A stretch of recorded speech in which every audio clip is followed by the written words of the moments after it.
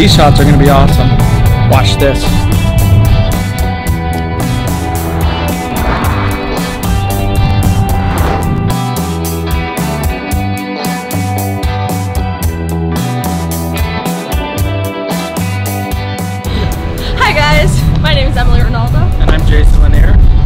So we're here to film with the, um, to shoot with the Sony 400mm 2.8. So this is a really fun shoot that Emily and I did with the 400mm G Master. Uh, it's a crazy lens in that it's the same size as you'd see with a Nikon or Canon. That's actually showing it side by side with the Canon 400 2.8. It's got all the bells and whistles, but because it's so much lighter, it can be shot handheld without using a monopod or tripod, which can give you some interesting advantages. So now we're gonna go. Go. Go! And the funny thing is, with the distance apart that we had to stand to shoot, plus with all the ambient noise, we actually used walkie-talkies to make this shoot happen. Check, check, check. Can you hear me? My boss over there in the fancy blue shirt.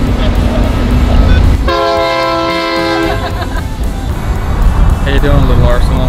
Sorry the train overruled your boss and all I smell is dead fish.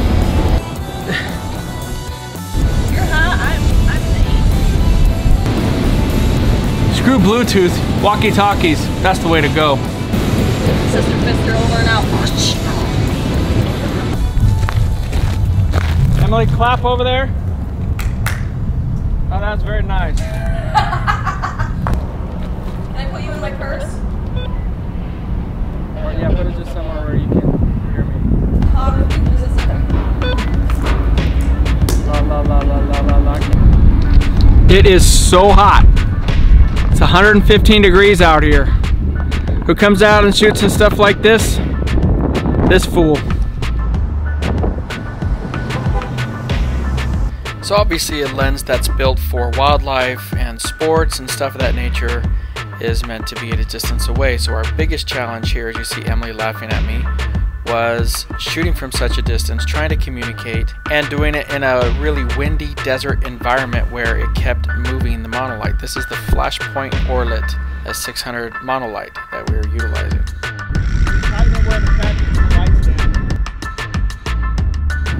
As someone who shot in South Africa many times on safari with a 100 to 400 G Master and um, on NFL sidelines with the same lens, um, and I own the Canon 400 to 2.8, I can tell you that this lens is special.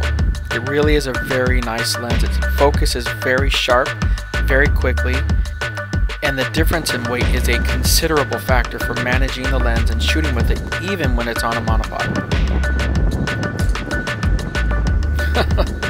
oh, the pain of this fall. This was this light's first trip out with me, and it ended up being its last. So,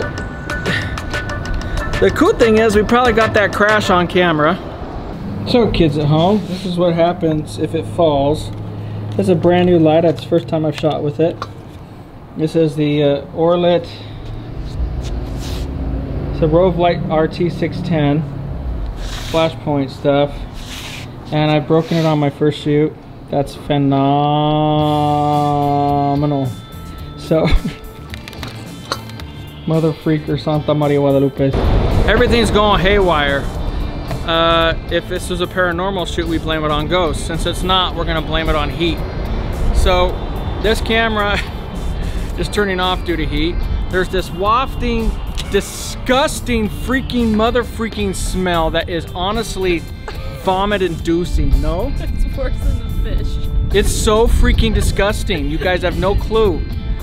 There's a bunch of people who forgot to take care of themselves hygienically. I don't know what else to say. This is rancid. I'm gonna see what the, uh, what I can salvage out of this. Luckily, the lens still works. Hopefully, the other cameras are not overheating. This one's overheated twice. It is so freaking hot out here. Even Leather McGillicuddy over here, the one who's always wearing leather jackets. I can't stand it. I'm so hot, I want to scream, man. Look at this. This just completely warped. Stay tuned. Let's see what happens. I like it. They're two-stepping it. And now we're gonna do what photographers do best. Shooting at the light. Shooting natural light. That's some chump change right there. So we're losing cameras, losing lights. We're gonna persevere, right? Persevere. It was literally so hot out there that the mic stopped working. The camcorder that we had stopped recording, and so what we had to do was film the rest of this with an on-board mic just on the A7R3. Due to losing the light, the rest of this shoot was done with natural light, and all jokes aside about artificial versus natural light, I tell everyone who comes to my workshops, I tell everyone that I meet, all great photographers are natural light photographers first, even those who use artificial light. To the more experienced photographers out there, let me tell you one thing I loved about this shoot the creative challenge. If you're stuck in a rut, if you feel like you've done it all, do a portrait session with the 400mm 2.8. It's a challenge and it's fun, and if you can make it happen, it's gratifying. These shots are gonna be awesome. Watch this. Don't move, I gotta let that car pass, but I like the shot. I can't say I've ever put a $12,000 lens in the middle of the street before, but I saw the lines, I saw the background, and I saw how it was going to make some amazing shots. So we went for it. Pretend to hitchhike. This is the part of the shoot where I really noticed the difference in weight. Yes, I was resting a lot of it on the pavement, but being that it's a new lens and it's not mine, I didn't want to just rest it on the pavement. So being able to kneel down, hold the lens so my hand is against the pavement, the fact that it was a lighter lens made a huge difference and it really helped me to be able to compose and get these shots. I gotta say, I loved shooting in the middle of the road. Yes, I'm crazy, as everybody kind of knows, but it was fun and it, it gave me great leading lines. You can even see in the video camera there just those yellow lines going down and leading into Emily. So I was able to do the same thing with this lens and it was such a creative challenge. The lens did really well and I have to thank my friends at Sony for sending me this lens all the way back in August and letting me use it and just a big thank you guys for doing that. Something that really struck me about these images as, as I was taking them was not only the heat that I was feeling in my body and in my legs, it was so hot, but you can see the heat in these images coming off of the asphalt. It's just amazing. We got it.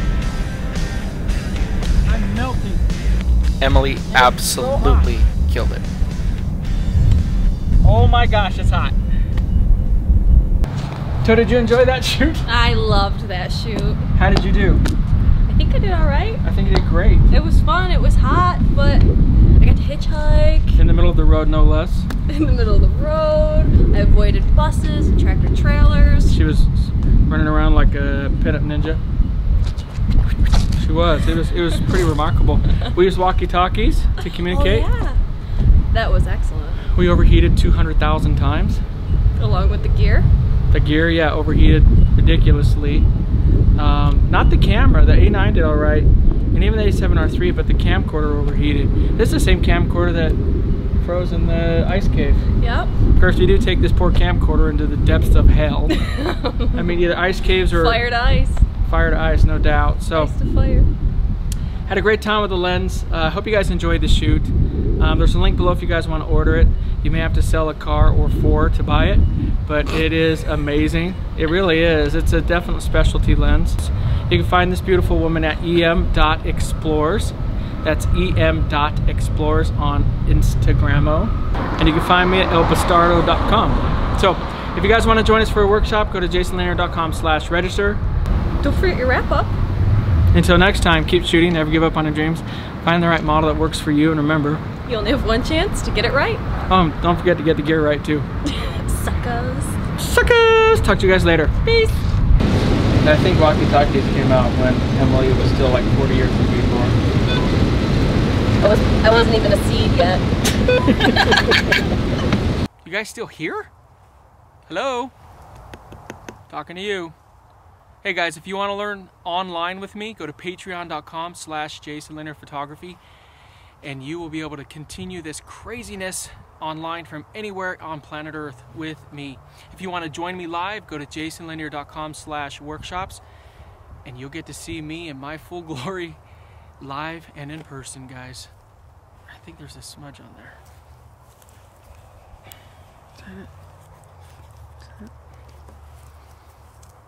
Yeah, I got it. Talk to you later, guys. Bye.